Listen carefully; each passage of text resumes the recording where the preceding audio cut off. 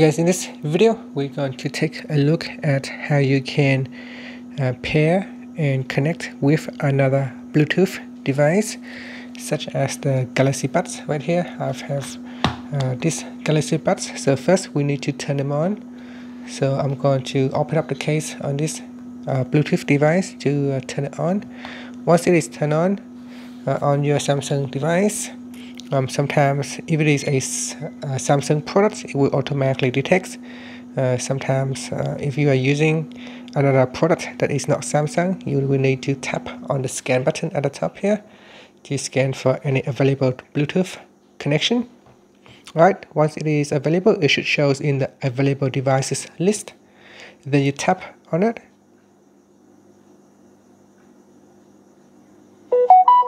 and now we request to pair so tap on the pair button. And because uh, Samsung has detected that there is a newer software uh, for this device so it tried to download the software that's fine. And uh, I'm going to tap on the continue button for this particular device here. So say you're all set.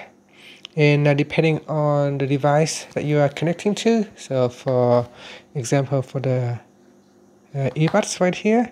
It will have this uh, interface. If you are connecting to say a keyboard you will get a different uh, in interface which controls uh, the keyboard.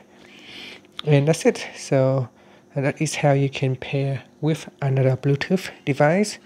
Uh, you can tap on the settings icon on the right hand side to go into the settings page which allow you to control uh, the Bluetooth device and after that you can unpair you can disconnect or you can rename the device. And that's it. Thank you for watching this video. Please subscribe to my channel for more videos